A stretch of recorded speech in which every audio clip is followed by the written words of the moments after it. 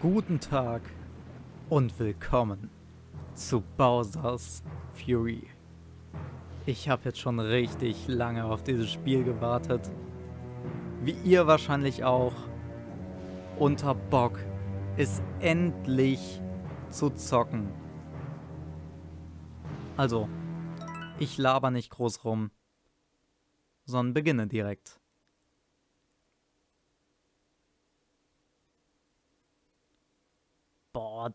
Boah, braucht das schon wieder lange im Loading Screen. Ja, ich kann ja schon mal anfangen zu erzählen, warum ich erst Bowser's Fury spiele. Also warum ich nicht erst Super Mario 3D World spiele. Hat einen ganz einfachen Grund. Habe ich schon gespielt. Vielleicht werde ich es danach Let's Playen. Mal schauen. Aber Bowser's Fury ist einfach neu. Darauf wartet jeder. Genauso wie ich. Und ich habe richtig Bock. Also los geht's.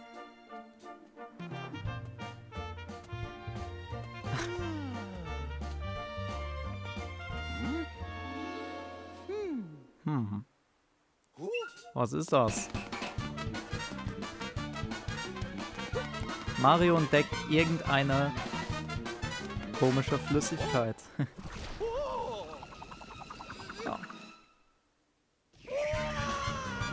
Das dürfte ihm bekannt vorkommen. Dieses M.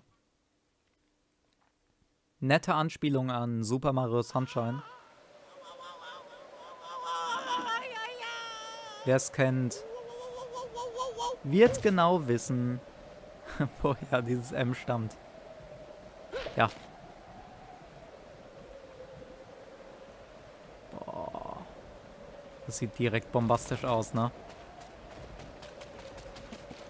Alles klar, wo sind wir hier? Was machen wir hier?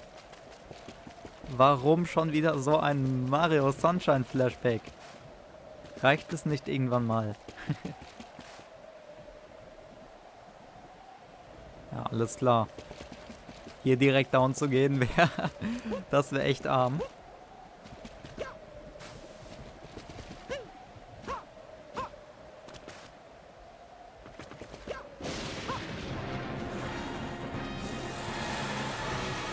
Alles klar. Ich habe mich gerade schon gefragt, wann die Action losgeht. Aber wir sehen schon. Bowser hat irgendetwas vor. Und Mario denkt sich einfach nur, ernsthaft. Alter, ist das dein Ernst? Muss das sein? okay. Schauen wir mal, was zum Teufel. Alles klar, okay. Ah, okay.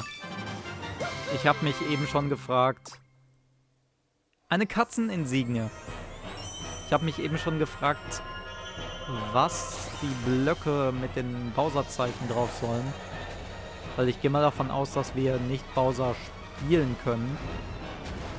Aber da haben wir es.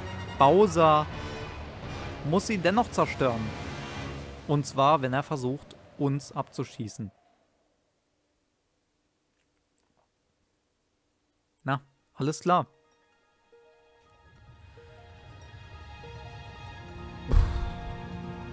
Gut. Ich dachte, das braucht jetzt schon wieder so lange, um zu laden. Aber nö. Tut es nicht.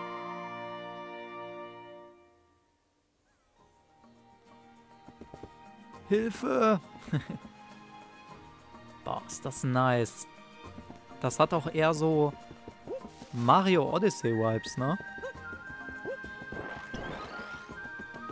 Ja, okay, das Rennen ist ganz Super Mario 3D World typisch. Ah, hier ist das Schiff von eben. Okay, aus der Anfangssequenz. Ah, ah, okay. Okay, ich dachte, es wäre ein Jump Cut zu irgendeiner anderen Insel gewesen, aber nö, da irre ich mich. Ja, okay, hier können wir alles ein bisschen überblicken. Wollen wir jetzt nicht.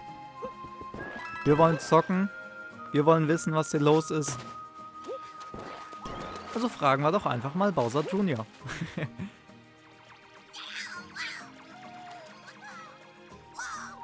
Bruder, was ist los?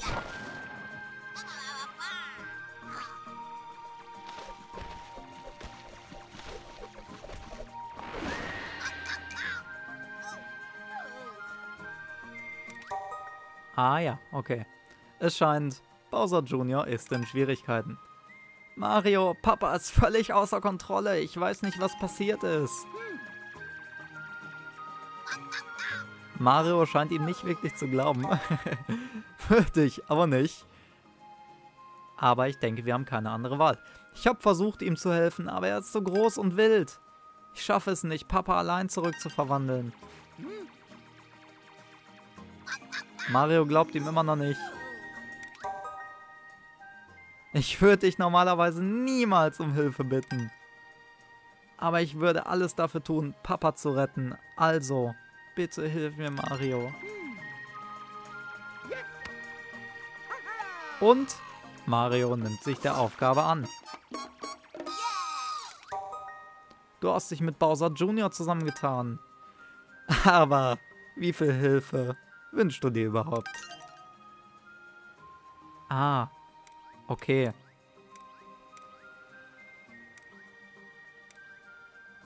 Also zu Anfang einfach mal ganz kurz. Zu Anfang werde ich es noch auf viel Hilfe stellen. Ich denke, man kann es hinterher umstellen. Einfach nur, damit wir sehen, was Bowser Jr. kann.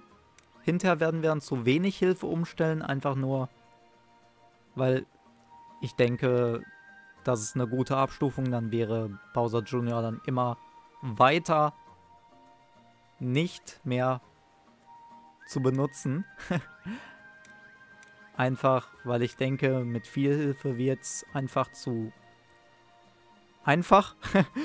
äh, ich denke, es wird dann hinterher nicht mehr schwierig sein und ja, deswegen erstmal dann hinter wenig Hilfe um trotzdem noch zu sehen, was er so kann, was er so machen würde in einzelnen Situationen. Und hinterher, wenn wir dann schon so ziemlich alles gesehen haben, ihn nicht mehr zu benutzen. Nein, du sagtest zu Bowser Jr., dass du keine benötigst. Alles klar. Du kannst diese Einstellung im Menü unter Optionen ändern. Eine Sache noch. Wenn du einen Joy-Con mit einer zweiten Person teilst, kann diese Person Bowser Jr. steuern. Wähle hierfür einfach Plus im Menü ja, im Menü den Zweispieler-Modus aus. Alles klar. Ja, äh, ich will aber Option hier. Viel Hilfe. Logischerweise, wie ich es gesagt habe. Und ich denke, dann wird er jeden Scheiß machen, ne? ja, auch die Münzen einsammeln, alles klar.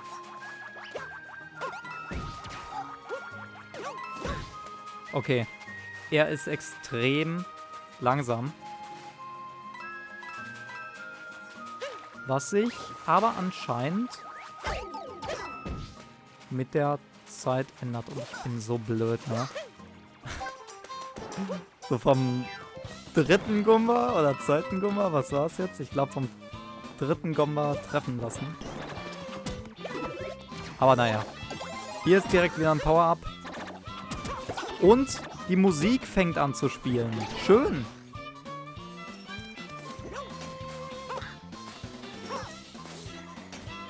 Ja, alles klar. Okay, das Spiel hat wahrscheinlich nicht, nicht erwartet, dass ich wie so ein Noob einfach direkt mein Power-Up verliere. Also... Nur klar, dass direkt eine ja, ein Katzenelement eingeführt wird. Hallo? Okay. Leider keine Katzenglocke. Oh. Ja gut, aber es ist jetzt auch kein Item hier, ne? Katzen! Cool. Die, die habe ich im Trailer gesehen. Was genau bringen sie? Okay.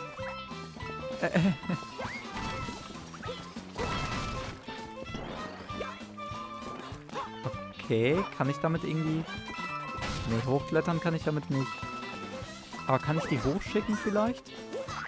Hm. Mal schauen. Ich hätte jetzt auf jeden Fall gerne eine Katzenglocke, bitte. Weil sonst verpasse ich doch... Ja, danke schön. Sonst verpasse ich doch extrem viel. Und da ist so, ein, so eine komische, so ein komisches Abzeichen. Was bringt das? Eine Red Coin oder irgendwie sowas?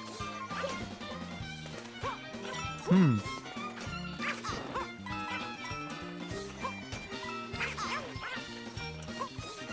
Ich denke, das werden wir hinterher noch genauer erklärt bekommen.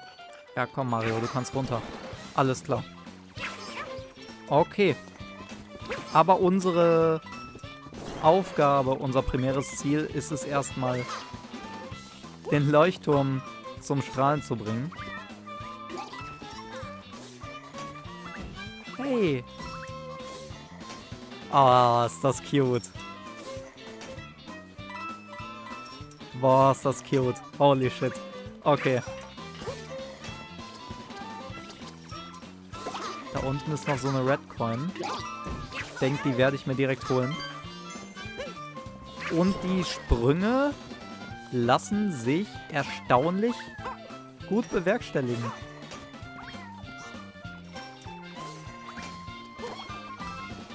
Äh, boah, ist das cool. Boah, das ist so cute gemacht. Nintendo, ihr könnt's einfach. Äh, und Bowser Jr. macht schon mal die ganzen Viecher weg. Alles klar. Genauso wie das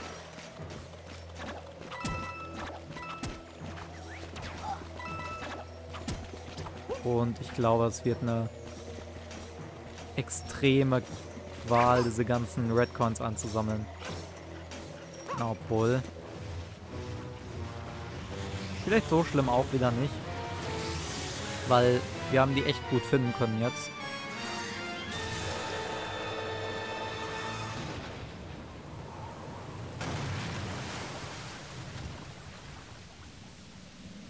Was geht hier ab?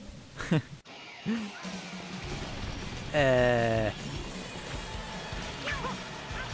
Alles klar.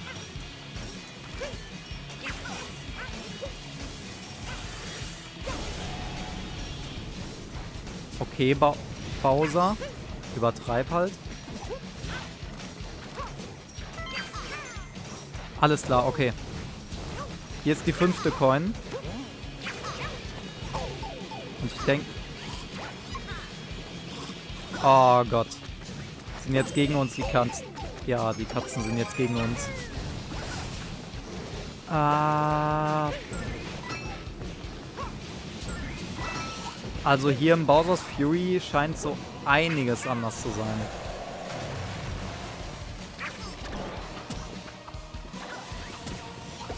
Da sind die freundlichen Katzen auf einmal wilde Gegner. Und aus dem Himmel regnen Flammen. Ja, Bowser jetzt nervt halt nicht.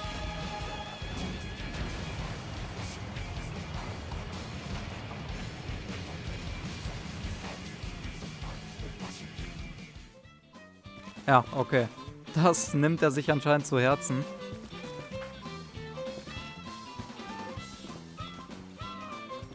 Und ich würde gerne wissen, wo ist die vierte Redcoin? Hier drinne?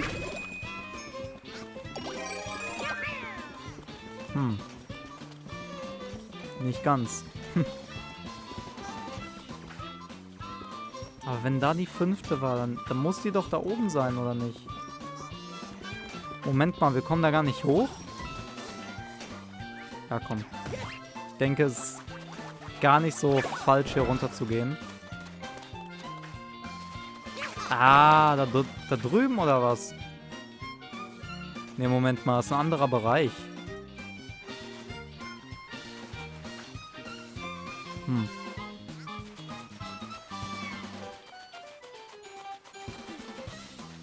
Okay, das lässt sich auch nur mit Hilfe von Bowser öffnen.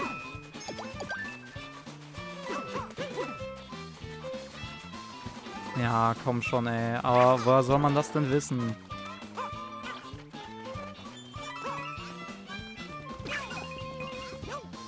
Okay. Ja, nee. Ich weiß nicht, ob das gespeichert bleibt. Aber ich hoffe mal, dann muss ich das halt nachholen, wenn Bowser wieder auftaucht.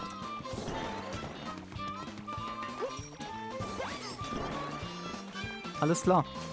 Dann lasst uns erstmal hier die Katzeninsigne einsammeln. Eine Katzen... Was? Ein Katzeninsigne? Okay. Ist das so? Hm. Wusste ich nicht. Aber damit haben wir es geschafft. Wir haben den Leuchtturm wieder zum Leuchten gebracht. Dieser Leuchtturm möchte etwas ans Licht bringen. Das Licht eines Katzeninsignes lässt das klebrige, dunkle Zeug verschwinden. Manche der Katzeninsignien können jedoch ein wenig schüchtern sein. Solltest du nicht fündig werden, sieh dich auch auf anderen Inseln um. Inseln mit Leuchttürmen sind immer ein guter Startpunkt. Am besten suchst du dir einen hochgelegenen Ort und suchst von dort aus die Umgebung ab. Ja, werde ich machen müssen. Hallo, sollst da hochklettern? Mario. Gut. Uh, eine Boomerangblume. Aber von hier aus können wir auch die Red Coins suchen.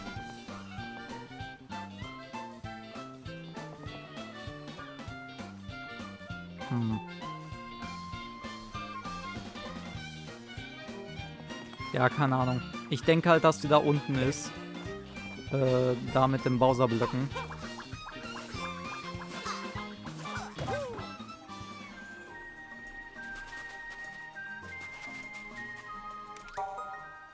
Scheint, als hätte Bowser Jr. noch mehr zu sagen. Ja. Wir schauen da einfach später nochmal hin oder ich mache das off-cam oder was auch immer. Wow, eine Gigaglocke. Über die Dinger habe ich mal einen coolen Spruch gehört. Ich glaube, der ging so, wenn das Monster sich erhebt, wird die Gigaglocke ertönen oder so ähnlich. Aber erst müssen wir das klebrige Zeug herunterbekommen. Mit mehr Katzeninsignien sollten wir es schaffen. Ja, fünf Stück brauchen wir insgesamt. Und da wir schon zwei haben, wird das, denke ich mal, nicht so schwierig sein. Aber was genau passiert dann?